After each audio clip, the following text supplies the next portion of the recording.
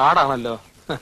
ഏത് മറവിൽ ഒളിച്ചാലും ഈ അരശുമൂട്ടി അപ്പുക്കുട്ടൻ നിന്നെ പുല്ലുപോലെ കണ്ടുപിടിക്കും. ആഹാ.